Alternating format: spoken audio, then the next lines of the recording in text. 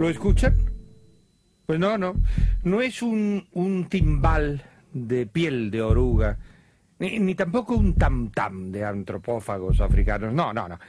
Es simplemente un corazón humano palpitando. Naturalmente, cuando nos referimos a una persona sin sentimientos, decimos que, eh, que no tiene corazón. Pero la historia de esta noche nos ofrece la extraña aventura de un hombre que realmente no tenía corazón. Es decir, que en el interior de su pecho no había nada que palpitase. ¿Puede un ser humano vivir sin corazón? Eh, clínicamente no. Eh, pero este no es, un caso clínico. Esto, esto es el relato de un hombre que buscaba la vida y esta parecía jugar al escondite con él. El viaje comienza.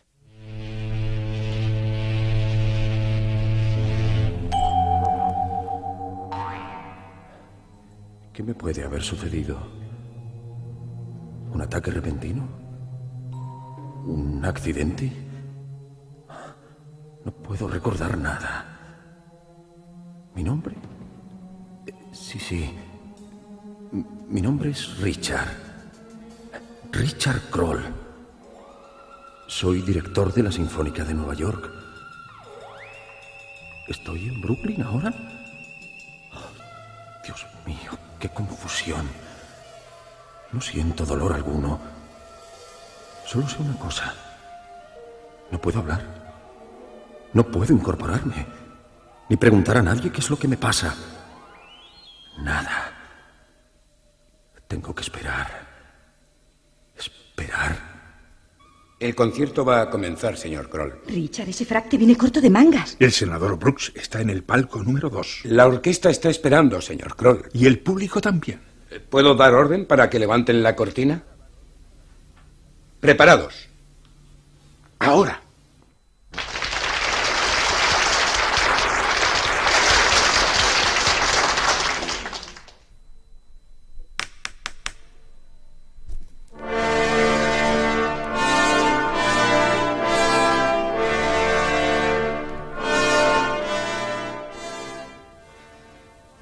Un instante, señor Kroll. Tengo que ponerle una inyección. Apártese. ¿No ve que estoy dirigiendo la orquesta? Retírese del escenario. Lo siento. Deme el brazo izquierdo y no se mueva tanto. La inyección es intravenosa. ¿Y cómo quiere que dirige la orquesta con un solo brazo? Los metales van a quedar sin ritmo. Tengo que hacer vibrar los chelos en 12 compases más y los timbales deben entrar enseguida. Eh, Siga con la batuta solamente en su mano derecha. Su brazo izquierdo debe permanecer inmóvil. Ah, ¿Así? Apresúrese. ¿No ve que las cuerdas están languideciendo? Pierden ritmo. Y el fagot ha entrado tarde. Los oboes están No desperdigados. se mueva, por favor. Duele mucho. Dios mío, la orquesta se desmorona. Se confunden los violines con los clarinetes. Sincopado, señores. Sincopado. Más fuerza. No termina, señorita, todavía. La colocación del líquido es lenta. No pierdan el ritmo. Ahora, ahora deben entrar las cuerdas otra vez. El contrapunto del timbal no retumba. La orquesta entera se ha perdido en el pentagrama. La gente se retira. Se vacía el teatro. ¿No ves? Es un carrusel especialmente construido para ti. Mira los animales de cartón que suben y bajan. Son todos símbolos de la música. Los grandes creadores. Tú te montaste en un caballo que tiene la cabeza de Juan Sebastián Bach. Y yo estoy subida a un cisne con la cara de Mendelssohn. Y detrás tuyo está Tchaikovsky con el cuerpo de un tigre. Me mareo. Es una monstruosidad. ¿Qué músico representa esa serpiente de mi lado? Es Debussy. Y allá está Beethoven personificando a un león. Y más atrás Mussorgsky convertido en un oso polar. Y aquel ciervo es Strauss. Y el elefante es Mozart. Sí, los genios de la música te rodean, Richard. Todos los animales músicos suben y bajan lentamente mientras giran en el carrusel. Esa música de organillo me destroza los oídos, Iris. Es una irreverencia un carrusel con esa especie de centauros musicólogos. Bájame de aquí, Iris. Mi cabeza va a estallar. Mira la gente de abajo. Hay centenares que nos miran. Y ahora nos lanzan papeles, confeti, serpentinas. No, son partituras. Las lanzan al viento. Esta hoja que cayó sobre mí es la Sinfonía en Re de Brahms. Y aquí tengo el concierto en mi bemol de Mendelssohn. Es un carnaval sinfónico, Richard. No, parad del carrusel. No tenéis derecho. Esas hojas son sagradas. No pueden hacer girar a esa zoología musical. Me ahogo, Iris. Tengo náuseas.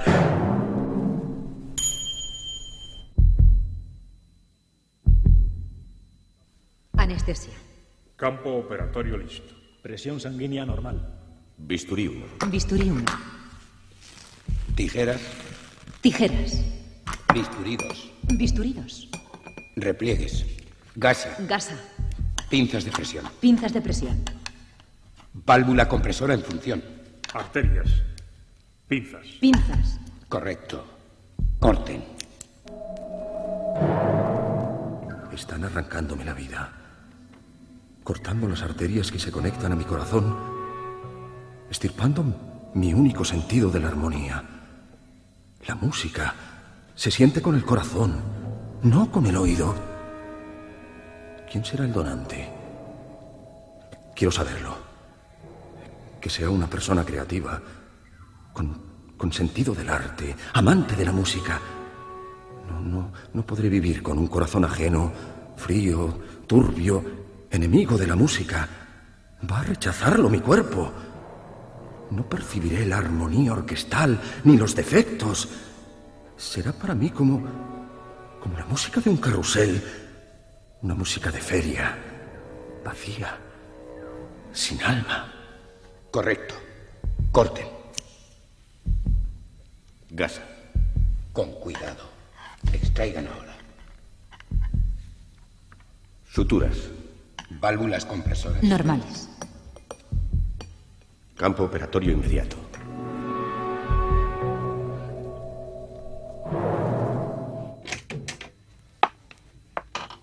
¿Cómo se siente, señor Kroll? Yo eh, estoy bien. ¿Qué me ha pasado? Fue operado por los doctores Dalton y Adams, los mejores especialistas del corazón. ¿Cuándo fue eso? Ayer por la mañana. Incorpórese. Le voy a ayudar a vestirse. ¿Vestirme? Pero si ayer fui operado. Sí, trasplante de corazón. Debo permanecer en cama muchos días, lo sé. Su caso ha sido especial. El doctor Dalton lo está esperando en su despacho. Quiere hablar con usted. Buenos días, señor Kroll. ¿Cómo están esos ánimos? Un poco débil. ¿Por qué me ha hecho levantar? Le tengo que dar de alta. No tiene justificación que esté internado en este hospital. ¿Acaso no, no he estado en el quirófano para un trasplante de corazón? Sí, pero también cometimos un error, señor Kroll. ¿Un error? Sí. La decisión del trasplante la ordenó el doctor MacDonald, pero no nos informó bien a quién teníamos que trasplantar el corazón de quién. ¿Qué quiere decir? Teníamos en dos mesas operatorias al donante y al receptor, pero llegado el momento no supimos quién era uno o el otro. ¿Y, y qué hicieron? Tenía que suceder. Lo hicimos todo al revés. A usted se le extrajo el corazón y su corazón fue colocado en el pecho del donante por, por un lamentable error. ¿Qué? ¿Y, y, y a mí? ¿Qué, ¿Qué me colocaron? Nada. Nada, absolutamente. Tengo que informarle, señor Kroll, que en su pecho no palpita nada. Ha quedado sin órgano cardíaco. Por un instante le pareció que la habitación giraba lo, lo mismo que un carrusel. El doctor tomó la forma de Juan Sebastián Bach y el escritorio se convirtió en un atril de música. Richard golpeó con la batuta sobre el atril. Imposible. No pueden haber hecho eso conmigo. ¿Lo oyen? Ustedes son profesionales, lo mismo que yo. ¿Les parecería bien que asistieran a un teatro para escuchar la quinta sinfonía de Beethoven y yo les ofreciera a toda orquesta las bodas de Fígaro de Mozart? Deje de golpear con esta regla la mesa, señor Kroll. Su corazón ha quedado trasplantado por un error en el pecho de John Smith. ¿Y por qué no se lo vuelven a extraer? Lo siento. El trasplantado abandonó el hospital esta mañana. ¿Se fue? Lleva algo que no le pertenece. Ese corazón que palpita en su pecho es mío. ¿Entiende eso, doctor Dalton? Lo comprendo. Pero ahora ya no hay remedio. Busque a John Smith para que le devuelva lo que es suyo. ¿Y dónde encuentro a ese John Smith? Ignoramos su dirección. ¿Qué es lo que soy yo mientras tanto? Clínicamente, un cadáver. Un muerto. Sí, señor Kroll. Eso es usted. No tiene nada que hacer en este hospital. El furgón mortuorio le trasladará a donde usted quiera. Regrese si puede con ese John Smith y le devolveremos la vida. Caminaba ahora por el inmenso escenario del Carnegie Hall. La boca negra del patio de butacas se veía siempre lejana. Encontrar a John Smith es lo mismo que buscar una gota de agua en el mar. De pronto, vio los brillos de los metales, el, el sonido de las cuerdas. Era su orquesta que estaba afinando los instrumentos. Se acercó lentamente a la tarima del director, se subió a ella y cogió la batuta para imponer silencio. Caballeros, eh, no, no voy a poder ensayar hoy día. Me ha, me ha ocurrido un percance inesperado. Mi, mi corazón fue extraído de mi pecho por una equivocación. Me siento vacío. No puedo captar el ritmo, el compás, los matices orquestales. Ando buscando a un John Smith. ¿Alguien de ustedes se llama John Smith? Sí. ¿Quién se llama John Smith? ¡Yo! Dios mío. Todos. Toda la orquesta se llama John Smith. Sí. Nos llamamos John Smith. Yo soy el clarinete y soy John Smith. Yo todo lo domino en cuestión de viento. Y John Smith se llama. Y juro que no miento. Yo soy primer violín. Y John Smith se llama. El do, el re o el si son todos para mí una fuerza que me inflama. Y John Smith se llama. Me llamo John Smith. Smith es mi apellido. Mi nombre es siempre yo. Y nadie le ha mentido. Y somos John Smith desde que hemos nacido. Sí, todos se llamaban John Smith. Pero nadie llevaba en su pecho el órgano cardíaco de Richard. Este bajó de la tarima y dejó caer la batuta al suelo. Tengo que seguir buscando a John Smith. El teatro era una bóveda oscura. Las butacas vacías formaban un desierto sin horizonte. Un hombre estaba barriendo el pasillo central. Buenas noches, señor Kroll. ¿Cómo te llamas? Smith. ¿Qué más? John Smith y Smith. ¿No me conoce? Soy el portero. ¿Has estado en el hospital acaso? ¿Yo?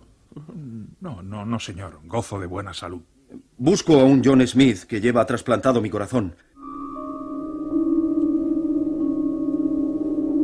Avanzó por el pasillo interminable rodeado de butacas vacías. De repente se sintió fatigado y se sentó en una de ellas. Escuchó unas voces a su lado. Primera arteria localizada. Corten. Válvula compresora normal. Segunda arteria. Corten. Buenas noches, señor Kroll. ¿Quién es usted? El iluminador. Veo que vino a ver el ensayo de luces. El escenario está negro. Vea. Pero se va a iluminar en unos segundos. Y yo dirigiré las luces. Usted dirige sonidos y yo luz. Vea este milagro. Luz en panorámica de foro. Azul más profundo. Ahora. ¿Cuál es su nombre? John Smith. ¿Ha estado usted ingresado en el Memorial Hospital alguna vez? No ninguna, señor Kroll. Buenas noches. Y siga con sus luces de colores. Eh, espere. Creo que el hombre de la taquilla 3 estuvo en el Memorial Hospital esta mañana.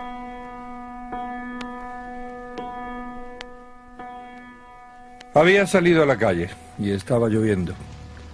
Se acercó a las taquillas donde había varias filas de gentes para adquirir localidades. Se colocó en último lugar. La cola avanzaba lentamente. Sintió frío en la cara y se subió a las solapas para protegerse de la lluvia. Perdone, ¿Hace mucho que está aquí esperando? Eh, más de media hora. Eh, Siempre ocurre lo mismo. Yo no me pierdo ningún concierto, ¿sabe? No confíe mucho en el de esta noche. ¿Por qué? El director no está muy bien de salud. No se sabe si podrá dirigir la orquesta. Pues sería una lástima. Richard Kroll es el director preferido. Lo celebro. Siempre asisto a los conciertos dirigidos por Kroll. Eh, tiene vigor, alma, corazón. Esta noche no tendrá esto último. Tonterías, tonterías. Lo conozco bien. Richard Kroll no defrauda a nadie. Fíjese que esta mañana yo estaba en el Memorial Hospital y aquí estoy haciendo cola ahora para adquirir una entrada. ¿Estuvo en el Memorial Hospital? ¿Una operación? Eh, sí, un trasplante. ¿Trasplante? ¿Cómo se llama usted? John Smith. ¿Usted? ¿Usted es John Smith? ¿Me conoce? Sí, estoy seguro. Tenemos que ir al hospital nuevamente. ¡Está loco! Eh, hu- hubo una equivocación. Extrajeron mi corazón y se lo pusieron a usted por error. Imposible. A mí no me abrieron el pecho. ¿Y, y qué le trasplantaron entonces? La nariz. ¿Qué? Sí, vea mi perfil. ¿No me parezco a Richard Barton? Me cambiaron mi apéndice nasal. El que tenía estaba muy deteriorado. Mire, yo era boxeador y mi nariz estaba desparramada por la cara. Me trasplantaron la nariz en un santiamén y aquí me tiene, con un perfil romano perfecto. ¿Un trasplante de nariz? He estado varias veces en el hospital. Mire, a mí me han trasplantado un riñón, después la vesícula. En 1976 me pusieron otro estómago. El que tenía me arruinaba con su apetito. El año pasado me trasplantaron el hígado y ahora la nariz. Como puede ver, ya no sé quién soy yo. Soy un trasplantado completo. Tengo órganos de mucha gente. El estómago era de un presbítero. El riñón de un coronel. La vesícula de una bailarina. Y así ando por estas calles y hago cola para un concierto. Vea mi maxilar, plástico puro, y el tímpano derecho de mi oído funciona electrónicamente, y mi ojo izquierdo es de vidrio. Pero su corazón... Es lo único que conservo mío. Todo lo demás me lo han cambiado.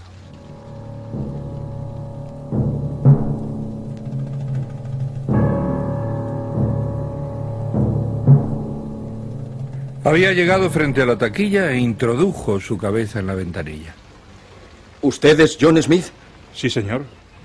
No quedan butacas de platea. No, no quiero ninguna platea.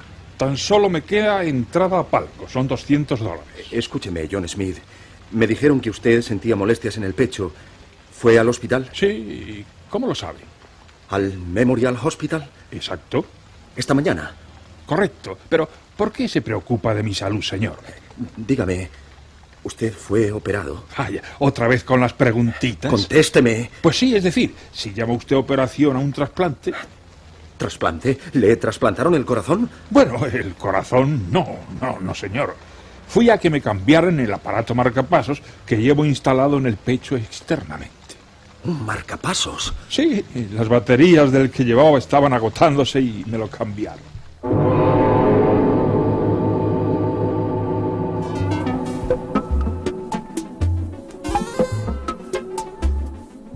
Richard Kroll abrió los ojos. Estaba de nuevo en su habitación 222 del Memorial Hospital de Nueva York. Una enfermera estaba al lado de su cama. Eh, Señor Kroll, su operación ha resultado muy satisfactoria. Todo. Todo parece repetirse una y otra vez. Yo recuerdo que usted me ha dicho esas mismas palabras. Es igual que girar en un carrusel montado en un caballo de cartón. El doctor Dalton le informará de su estado posoperatorio mañana. ¿No escucha usted el sonido del organillo del carrusel del parque de atracciones? Son los efectos de los sedantes. Puedo asegurarle que la intervención quirúrgica ha sido un éxito. Siento una extraña alegría y, y al mismo tiempo un- unas inmensas ganas de llorar, como cuando era niño. Tranquilice sus ánimos. Todo va bien, señor Kroll. Todo va bien.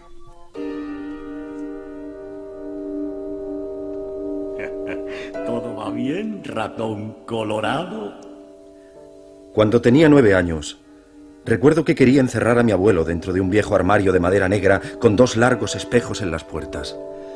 Mi abuelo Philip era un hombre delgado y huesudo y repetía, burlándose de mí, aquella frase.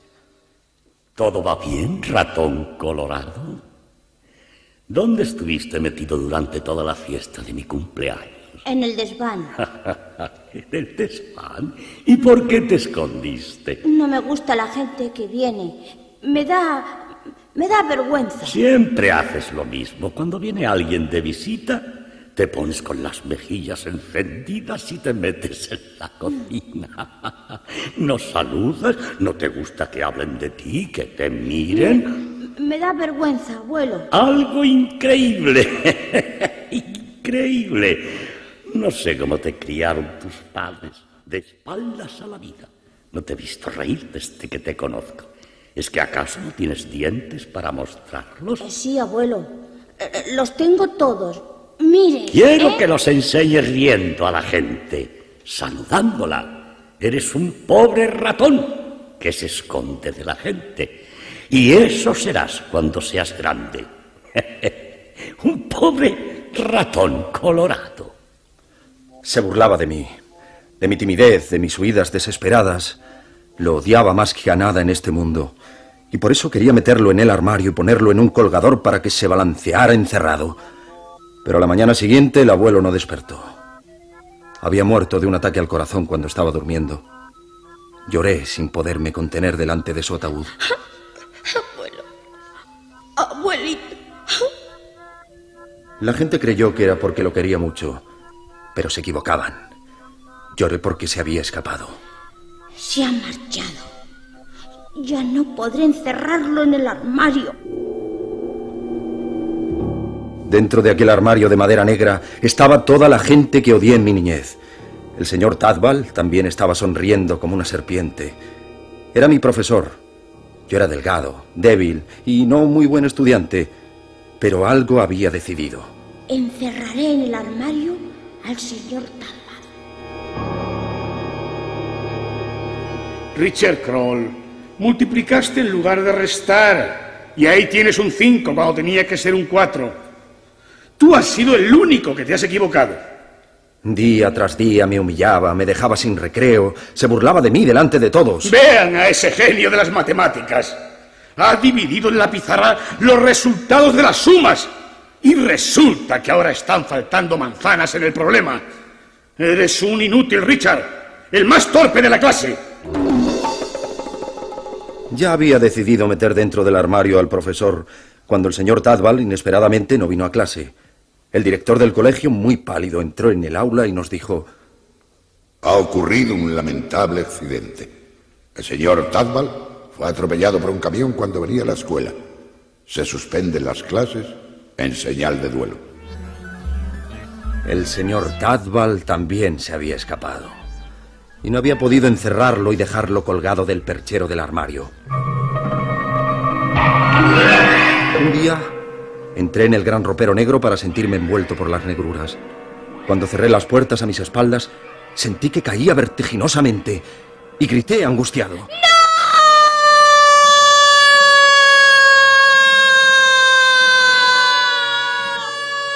El grito mío se prolongaba como un meteoro, como una sombra en el espacio y seguía cayendo, cayendo por el agujero negro del armario hacia mis recuerdos, mis oscuros recuerdos de juventud.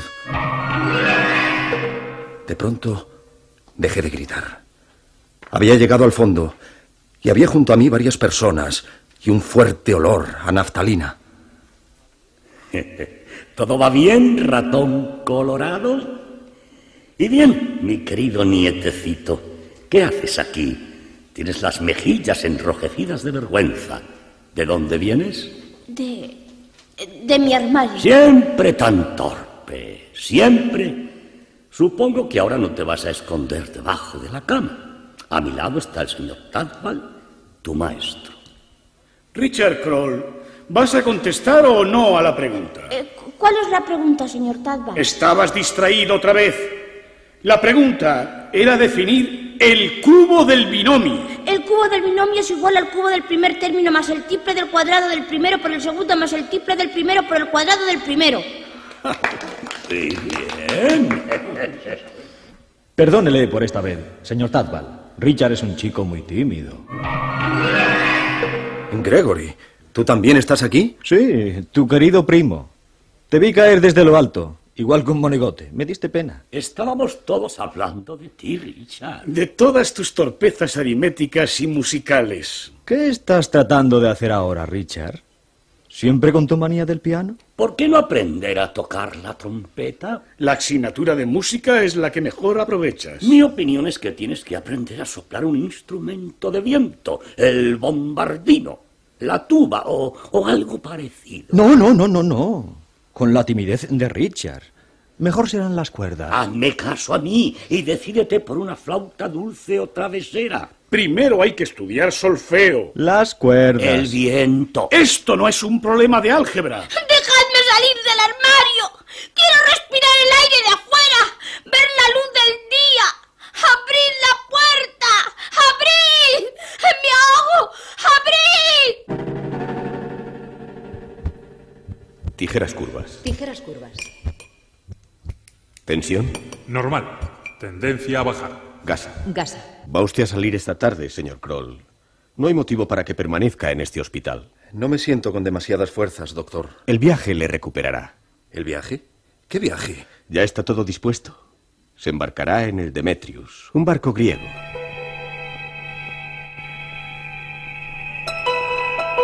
Una ambulancia negra le esperaba en la puerta principal. Rachel Kroll se sentía desorientado. Del brazo de la enfermera descendió la escalinata del hospital. Señor Kroll, le deseo un feliz viaje. Eh, señorita Annabel, estoy algo confuso. ¿Hacia dónde me dirijo? ¿Cuál es el motivo de mi viaje? Usted lo sabe demasiado bien. ¿Y mi corazón? ¿Qué ha pasado con mi corazón? No se preocupe por él. Bueno, espero que se acuerde de nosotros. Y allí estaba, en la dársena 16 del puerto de Nueva York. Era un enorme transatlántico. Su cubierta daba la impresión de ser un, un vasto desierto. Al llegar arriba, Richard Kroll eh, sintió vértigo. Una alta figura oscura se acercó a él. ¿El señor Richard Kroll? Sí, soy yo. Tenga la bondad de seguirme. Le acompañaré a su cabina.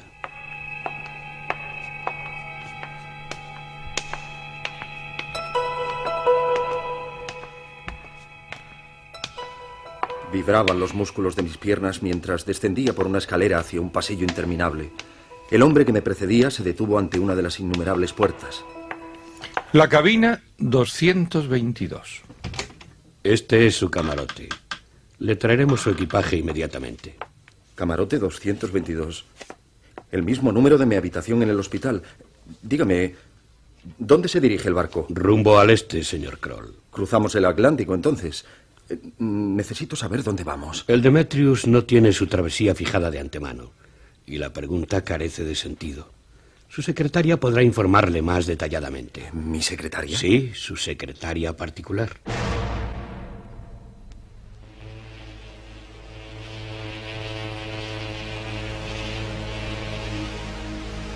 El Demetrius zarpó del puerto de Nueva York a las 5 de la tarde. Richard Kroll, aterido de frío, se recostó en su litera. Pase. ¿Cómo está usted, señor Kroll? Usted. Annabel. No sabía que venía a bordo. No, no. eh, Sufre una confusión. ¿Es posible que no me reconozca? No es usted la enfermera del hospital. Ah, no. Yo soy Sarah Pierce, su secretaria. Es curioso.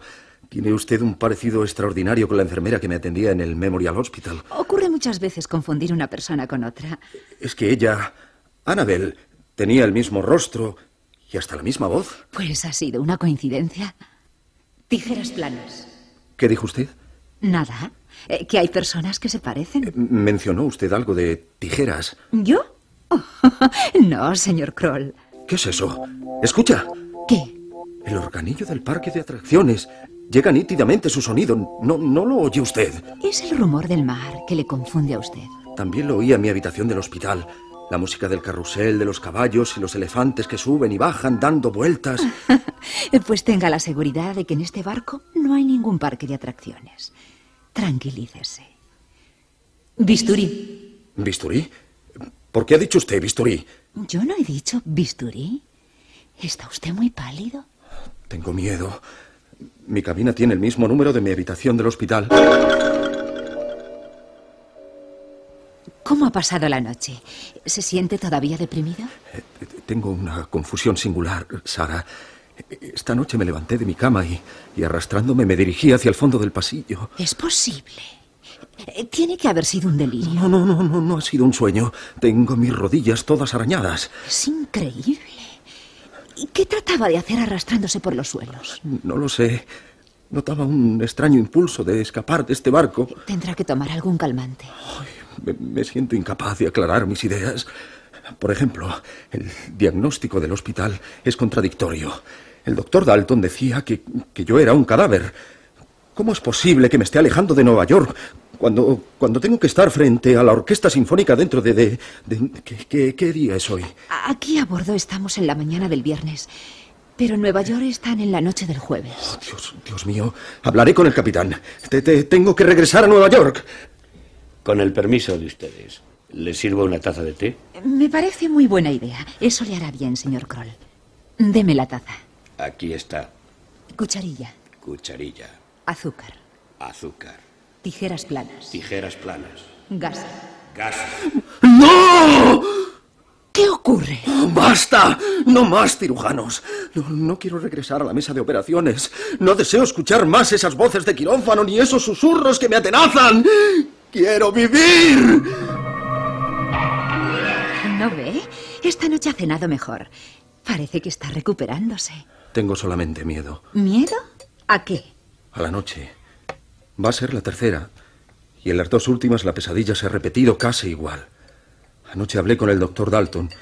Me estaban operando en la segunda bodega. Insólito. Lo sé, lo sé. Pero las imágenes son tan nítidas que parecen realidad. Tiene que superar esas emociones. Es imposible. Y presiento que esta noche... Esta noche encontraré algo más.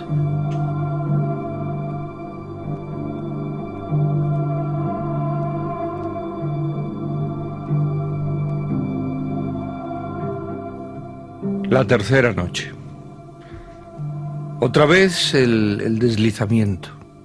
Eh, Se arrastraba lentamente por el pasillo. Después, la puerta y la escalera. La segunda bodega.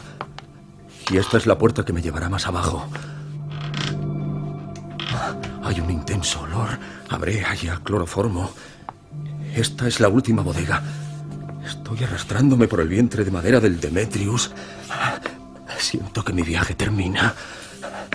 Estoy cerca de lo que trato de encontrar. Está detrás de esa puerta. Oh, santo Dios, qué frío tengo. Y el dolor en mi cabeza se agudiza. Me cuesta respirar. Hay un pestillo metálico.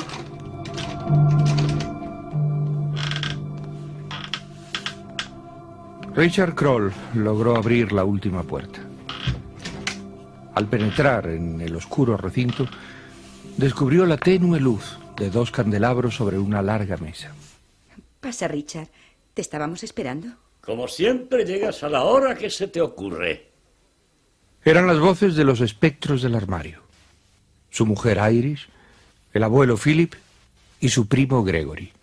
Pasa, pasa de una vez, hombre, y siéntate.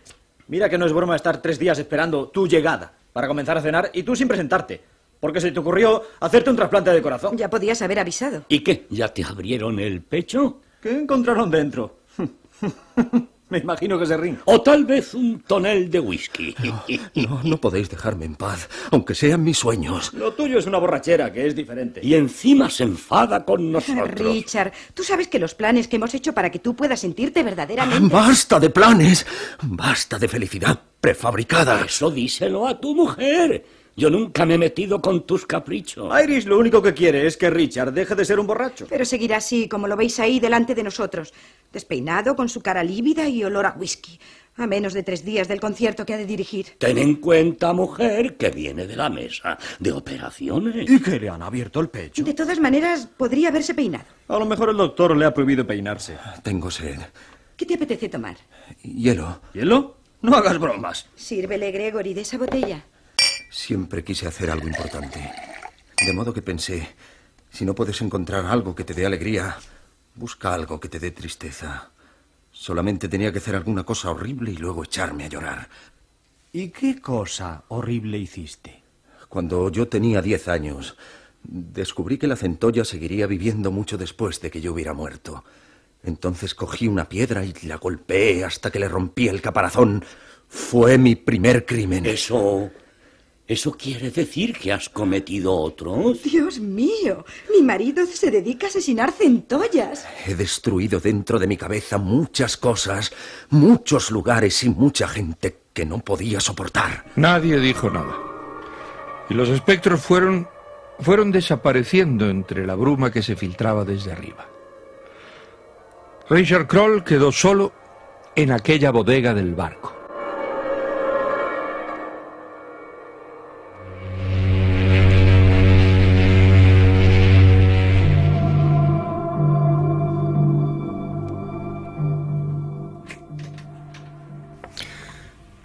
Sarah Pierce, la, la secretaria de Kroll, entró en la cabina a- hacia media mañana. Lo estuve esperando en cubierta para desayunar. Hace un día espléndido. ¿Es que no piensa levantarse? Estoy muy cansado. Esta noche recorrí todo el barco hasta las bodegas más profundas. Siempre buscando el agujero negro por el que se pueda escapar del barco. Quiero regresar a Nueva York. Y usted sabe por qué. Hablé con el capitán Kuntner esta mañana. No hay ninguna posibilidad de que el Demetrius cambie de rumbo hacia Norteamérica. Nada lo impide. Este barco va vacío. No hay más pasajeros que usted y yo, fuera de los odiosos fantasmas que se cobijan en las bodegas. No solo hay fantasmas. También viaja un cargamento sanitario de vacunas especiales contra un virus. ¿Vacunas? Al sur de Malasia sufren los efectos de una epidemia. El cargamento no puede retrasar su llegada. La noche otra vez. Richard Kroll despertó repentinamente en la oscuridad. Un fuerte olor a tabaco invadía la cabina. Y enseguida descubrió a su mujer y a su primo Gregory, sentados en sendas butacas del camarote. Le dije a Gregory que no fumara aquí dentro. Sabía que te iba a despertar el olor a tabaco. Teníamos que despertarle. De todas maneras. ¿Lo dices por lo de la botella azul? Por supuesto. No creo que Richard sepa usar ese sortilegio. Se necesita mucha imaginación. Y Richard solo entiende de música. ¿De qué estáis hablando? Ah, Tu mujer se ha robado de la cabina del capitán Kuttner esta gruesa botella de cristal azulino. Mírala. ¿Qué observas dentro de ella? Un, un velero en miniatura. Mm, Exactamente un caique griego de dos palos. ¿Es para ti? ¿Y ¿De qué me sirve a mí esta botella con esa estupidez dentro? Esa estupidez puede ser el agujero negro que estás buscando para escaparte del Demetrius. Que yo... No te entiendo. Me lo figuraba. Tú quieres estar este sábado en Nueva York. Sí, pero el Demetrius no puede cambiar el rumbo. Cámbialo tú, embarcándote en este velero. No lo entiendo. Sí, Richard, entiéndelo. Hay otras maneras de viajar. Me queréis gastar otra broma. No nos hagas difícil la explicación. La mente humana puede agrandar o empequeñecer la materia. Si haces un esfuerzo de concentración y miras fijamente el interior de la botella, es posible que logres disminuir tu dimensión y penetrar en este velero. Después será todo más fácil. Estas embarcaciones suelen navegar frecuentemente por la cuenca atlántica noroeste. Inténtalo al menos. No dirás que no quisimos ayudarte. Una especulación cerebral. Trasladarse a una nueva dimensión.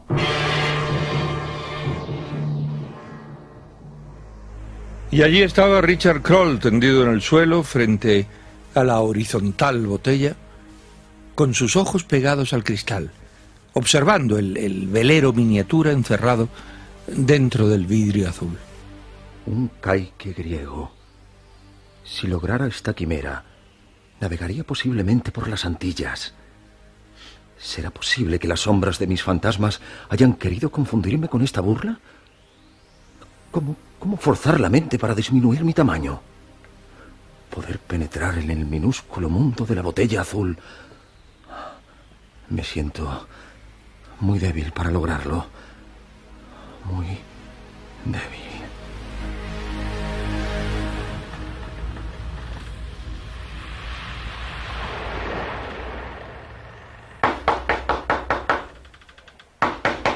¿Qué?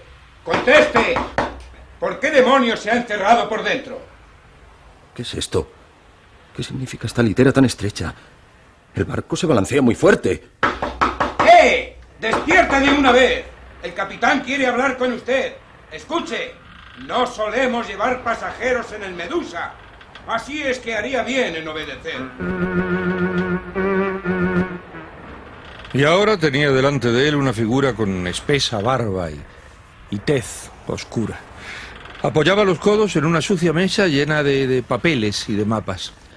Quería hablar con usted, pero observo que está mareado con el movimiento del velero.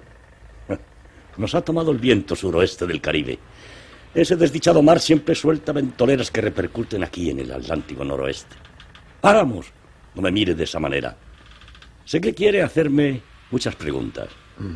Perdóneme, es que estoy desorientado.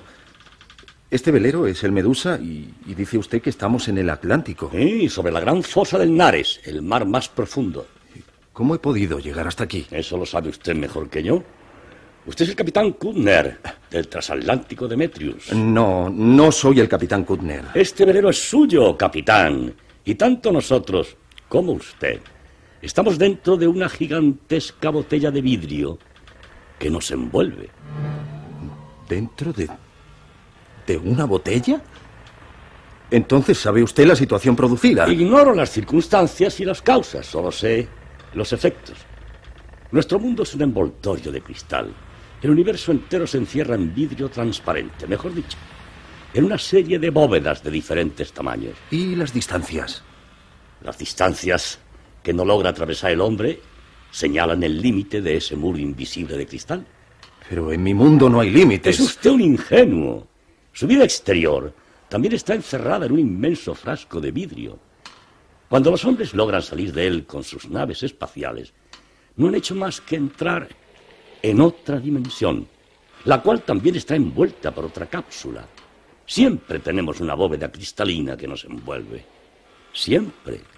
Yo logré entrar en su pequeño mundo, capitán. Existen las mismas distancias que en su gran mundo. Observe usted en este estante. Una botella. Y dentro de ella un bergantín en miniatura. Exacto, es un junco del siglo XVII. Pero si lograra penetrar en él, no haría más que cambiar de dimensión y podría ahogarse en la inmensidad del mar de la China. ¿Quiere usted decir que dentro de esa embarcación minúscula también hay un capitán como usted y un camarote como este? Y otra botella de vidrio con otro pequeño barco en su interior. Trate de encontrar un límite a esto. Siempre va a seguir la espiral infinita del tamaño y de las proporciones y nunca logrará encontrar el final. Una profunda cima a diferentes escalas. El universo infinito. ¿Para qué afanarnos en querer encontrar una salida si siempre estaremos dentro de una esfera?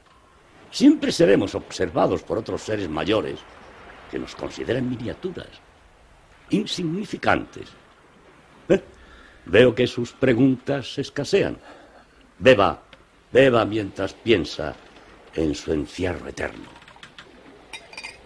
Eh, ¿Sabe usted para qué vine a este velero? Sí, para hacer un sucio negocio de contrabando, capitán Kutner. Ah, deje de llamarme Kutner. Yo soy Richard Kroll y necesito dirigirme hacia la costa urgentemente. ¿La costa? Oh, estamos a 3.600 millas, frente a Charleston. Tengo que llegar a Nueva York pasado mañana. ¿Qué superchería es esta? Las visitas del capitán Kutner han sido frecuentes.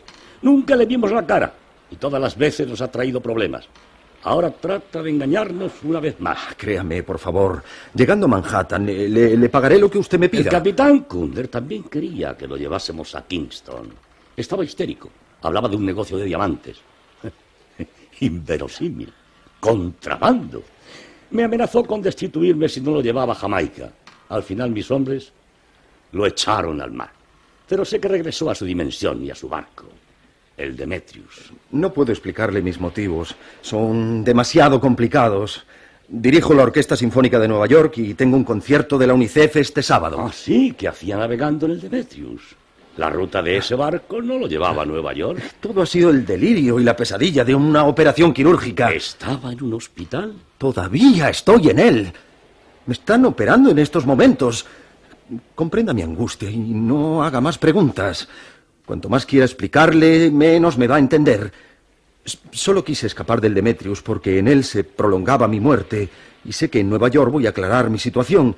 Ignoraba su existencia, capitán. En cambio yo sabía su nombre y sus propósitos.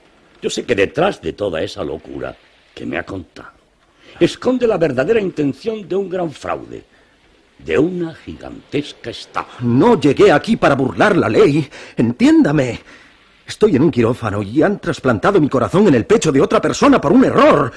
Ahora sabe la verdad de mi situación. No soy el capitán Kutner ni me interesa hacer ningún contrabando de diamantes.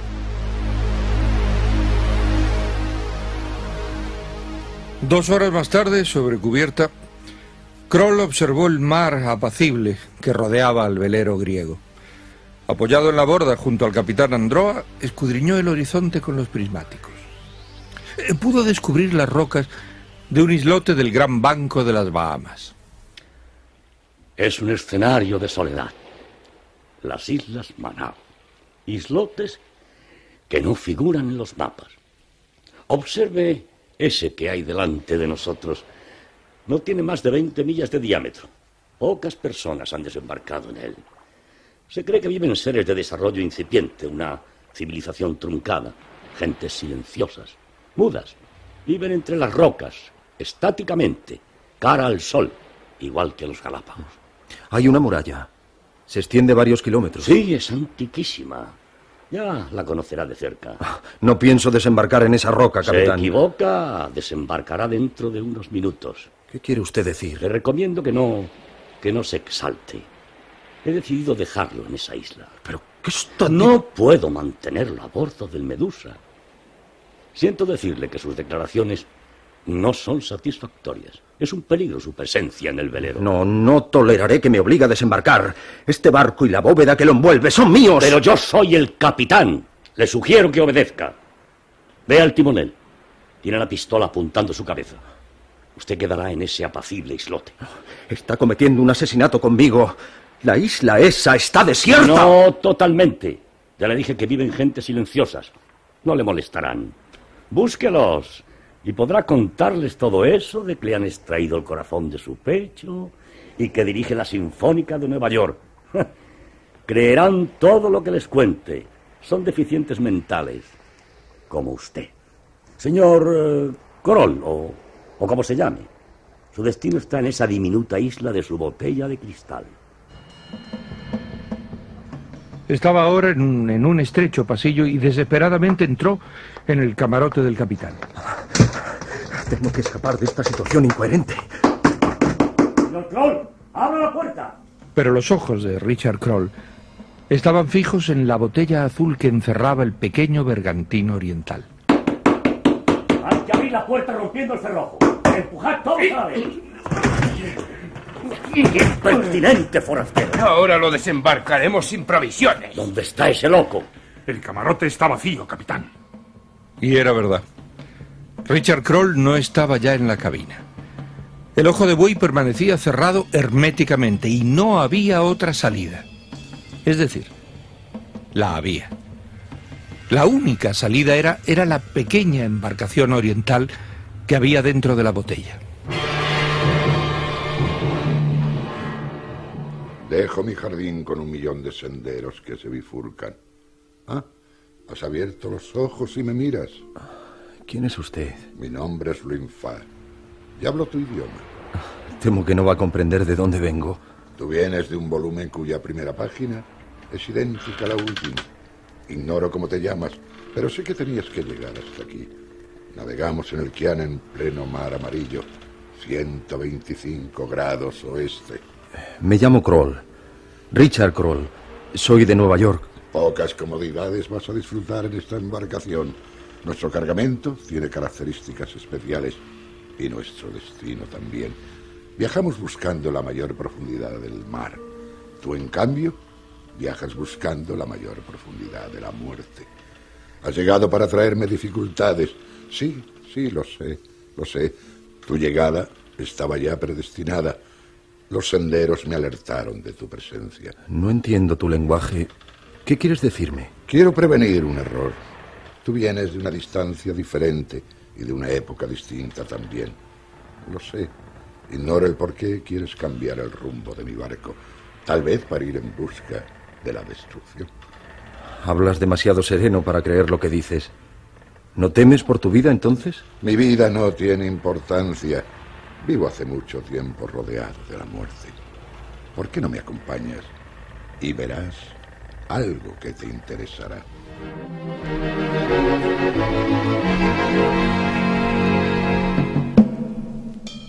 El rostro amarillo parecía con la vacilante luz de las velas un ser monstruoso, hinchado y, y viscoso, como un sapo. Lentamente nuestro cargamento mortuorio ha ido aumentando. Salimos de Taikai hace ya 53 días y ningún puerto poblado costero nos ha dejado entrar. Solamente la ruta del mar abierto, navegar sin poder llegar a tierra firme. ¿Quiénes son los muertos que llevas? Eran de la tripulación. Comenzaron a morir contagiados por una enfermedad. Las autoridades de toda la costa del sur han prohibido nuestro desembarco. ¿Quieres decir que el Junco está contaminado con una peste desconocida? ¿Desconocida? No, no. Conocemos la enfermedad, pero no sabemos cómo combatirla. Debió contraerla un tripulante de la región de Ainaim. Y ahora todos los del barco estamos condenados a morir. ¿De qué enfermedad se trata? La llaman piel hinchada y también sangre negra. Es una especie de lepra, pero mucho más activa. Sí. Una temible enfermedad contagiosa dominaba a la mayoría de la tripulación. Richard Kroll, eh, tambaleante, se apartó de la hinchada figura del capitán Luen Fa. Pero. ¿Pero por qué nos habéis desembarazado de esos cadáveres? Hay que lanzarlos al mar. Nuestras tradiciones impiden hacerlo. Todos son hijos de la península de Sintau. El fondo del mar significa la oscuridad eterna. Debo enterrarlos en tierra firme y eso es lo que tratamos de hacer. Dentro de dos días llegaremos a unos islotes de Chejú y allí desembarcaremos las cajas y les daremos sepultura. Tú nos puedes ayudar. Solo somos tres tripulantes y yo que nos mantenemos en pie. En la bodega de popa hay cinco enfermos moribundos y nosotros estamos ya sintiendo los síntomas de la enfermedad. Salgamos de aquí. Esto es insoportable. Ah, todo el barco es insoportable, pero pronto para ti cualquier lugar del junco será igual. Cuando seas como nosotros, no temerás a la muerte, más bien la desearás. Créelo. Por eso te decía que tu destino está equivocado.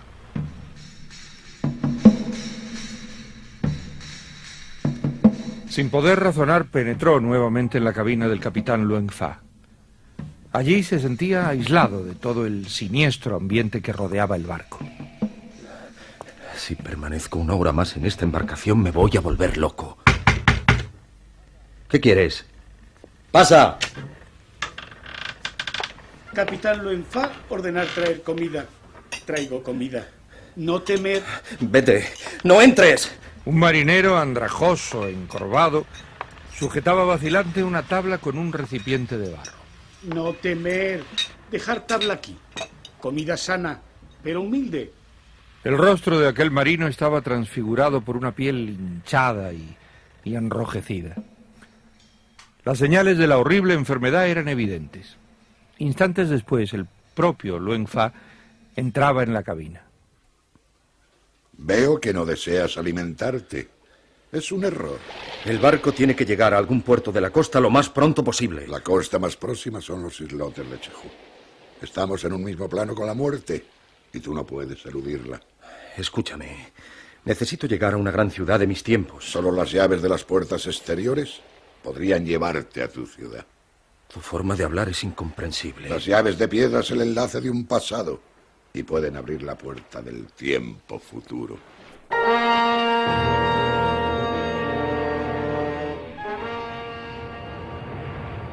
Y llegó el anunciado huracán. Y la pesadilla se prolongó durante muchas horas. Después, el viejo junco con sus velas destrozadas encalló en dos gigantescas rocas. Y el mar quedó en calma durante la noche. Yo traté de saber dónde nos hallábamos. Estas rocas pertenecen a la isla de Kum, es decir, a la prolongación de la isla. Mas hubiera preferido naufragar en pleno mar que haber quedado prisionero en esas piedras. ¿Por qué dices eso? Tres seres monstruosos con cabeza de mujer y cabelleras de serpiente viven en estas rocas. Solamente pueden desembarcar los ciegos. Parece la leyenda de las gorgonas de los habitantes de Invali. El junco se hundirá dentro de unas horas y tendremos que desembarcar a tierra. Será nuestro fin.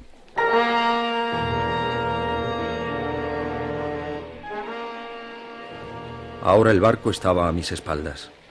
Había llegado a la playa oscura y a mi lado, tendido en la arena, el hinchado cuerpo de Luen Fa respiraba con dificultad. Tú lo has visto. Nadie ha querido desembarcar y han preferido mantenernos en el barco. Un barco que desaparecerá en el mar antes que amanezca. ¿Qué podemos hacer nosotros? Solo sé lo que dicen los escritos.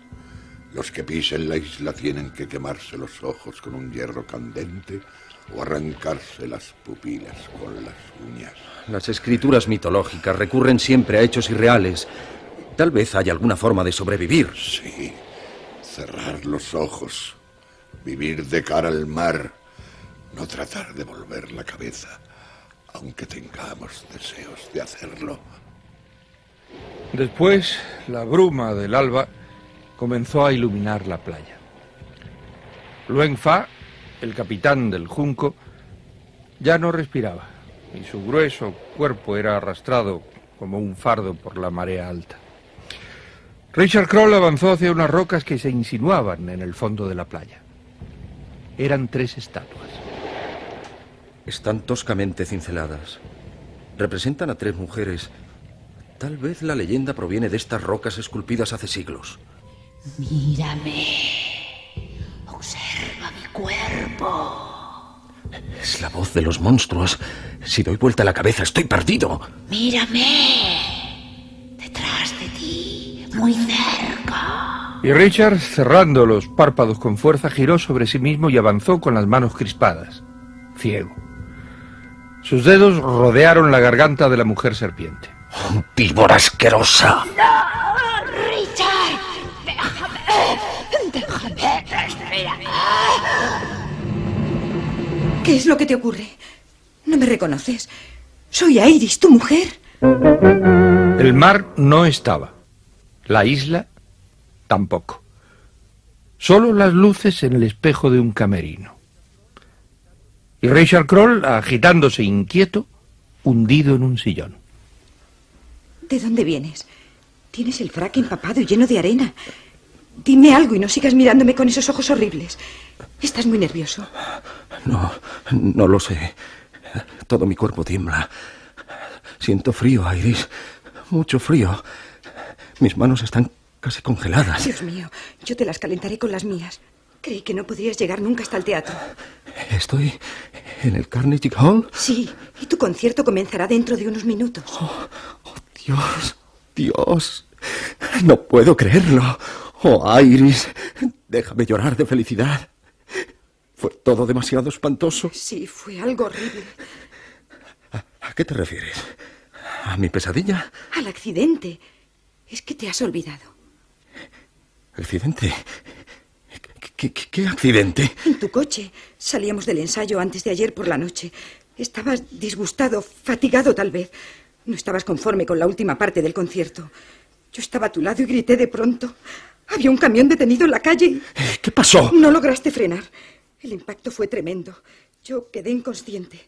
Cuando recobré el sentido, te habían llevado al Memorial Hospital.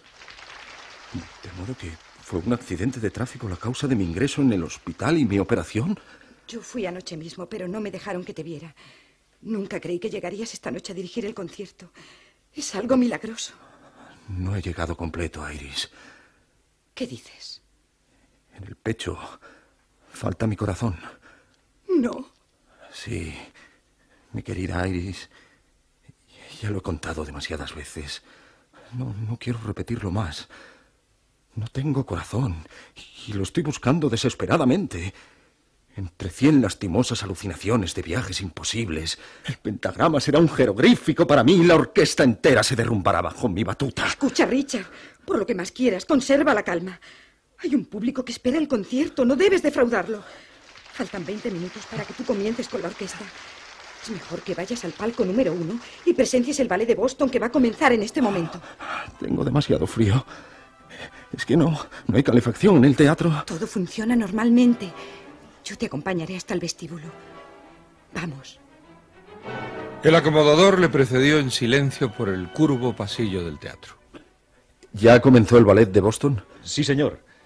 Después viene el concierto dirigido por Richard Kroll. Lo sé. Hay verdadera expectación por escuchar la sinfonía de Sostakovich, opus 222 llamada Corazón.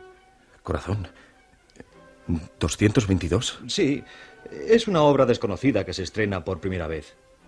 Este es su palco, señor. Tengo que advertirle que ya tiene un ocupante. Las entradas de palco se venden a dos espectadores. Tenga la bondad de pasar. El hombre del palco giró su cabeza. Buenas noches. Buenas noches. En el escenario, las ágiles figuras del ballet de Boston. El hombre, que compartía el palco, se volvió hacia él. Es fascinante. La rítmica, la pulsación. El ballet es un complejo cardiovascular perfecto. La danza es igual a la presión sanguínea. Nivel, tensión de ritmo, armonía arterial. Mm, Un verdadero organismo biológico. Habla usted como un médico. Soy médico cirujano. ¿No se llama usted John Smith, por casualidad? No, mi nombre es Christian Barnard. ¿Barnard? Eh, ¿El cirujano que hizo el primer trasplante cardíaco? Sí, pero no mencione mi nombre en voz alta. Nadie sabe que estoy en Nueva York. Ah, es, es una gran coincidencia. Yo soy un trasplantado. La técnica quirúrgica está muy avanzada. Eh, ¿No ha tenido ningún síntoma de rechazo? No puedo tenerlo. Eh, En realidad, mi trasplante no, no llegó a efectuarse. Me estirparon mi corazón, pero no injertaron nada en mi pecho. ¿Nada? Absolutamente nada. Fue un error del hospital. Mi corazón lo colocaron en el pecho del donante y este estará seguramente con dos corazones. Es algo sencillamente excepcional. ¿Me permite su muñeca un instante? Oh, sí, sí, sí. Busque, busque mi pulso. No, no, no lo encontrará. Se extraña, ¿verdad? No, no, no. No saca nada con cogerme la otra mano. Tampoco va a notar ninguna pulsación de la arteria. Es algo que eh, no tiene explicación clínica. ¿Cómo diablos puede circular su sangre? Eso no me lo pregunte a mí. Escuche. ¿No querría venir conmigo a Ciudad del Cabo? Causaría sensación. La ciencia médica del mundo quedará atónita. Yo solo necesito mi corazón, doctor Barnard. Vámonos inmediatamente. Tomaremos el primer avión que salga para Sudáfrica. No puedo. ¿Por qué? Eh, tengo que dirigir el concierto de esta noche. Diri, es usted Richard Kroll. El mismo. Sorprendente. El director de la Sinfónica sin Corazón. Algo memorable. ¿Para qué quiere llevarme a Sudáfrica? Allí tengo mi clínica. Necesito mostrarlo en el escaparate médico internacional. Este caso supera al de mi primer paciente, Bleiber. No, yo no puedo continuar así. Yo necesito encontrar a John Smith. ¿Quién? John Smith es el que tiene mi corazón. ¿Y para qué quiere su corazón? La medicina moderna es publicidad, la cirugía difusión. Desde que hice mi primer trasplante, he recorrido el mundo entero. Visitando los centros médicos. Y los clubes nocturnos. El Olympia de París, el Cotton Club, el Albert Hall de Londres. Allí me fotografié con Becker, Ivan Lendl y el cantante Elton John. La cirugía cardíaca es un arte de relaciones mundiales. ¿Y, y sus pacientes qué hacen mientras tanto? Los enfermos esperan. Esperan siempre. Le relaja los nervios. ¿No puede hacer nada por mí? Sí, exhibirlo. No, gracias. No soy la mujer barbuda ni, ni el tragasables de un circo.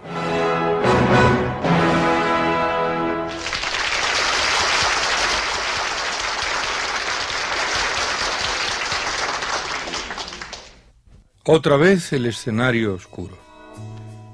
El ballet había terminado y la orquesta sinfónica ocupó el hemiciclo de tarimas. Richard Kroll sintió que sus piernas temblaban. A su lado, oyó la voz de su mujer. Serénate. Todo saldrá bien, amor mío. Richard no contestó. Notaba otra vez lo- los estremecimientos de su cuerpo aterido de frío. Cruzó el corto pasillo y emergió ante el escenario.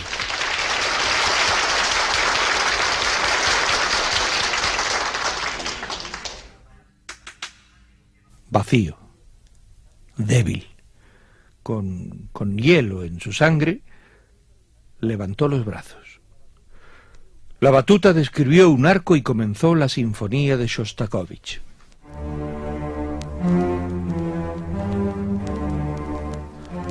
Notaba que mis brazos se movían lánguidos.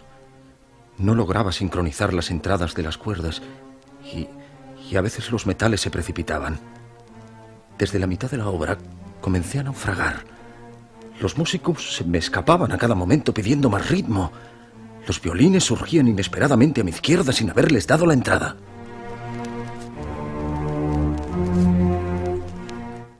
Faltaban pocos compases para terminar la obra cuando alguien comenzó a tirar suavemente de los faldones de su frac eh, desde debajo de la tarima. Volvió la cabeza confuso. Era un niño. Un niño de unos ocho años que, que levantaba su cara hacia él. ¡Suéltame! ¡Sal del escenario! Es, es que quiero hablar contigo. Pero no ves que estoy terminando el concierto. No molestes. Vete, vete.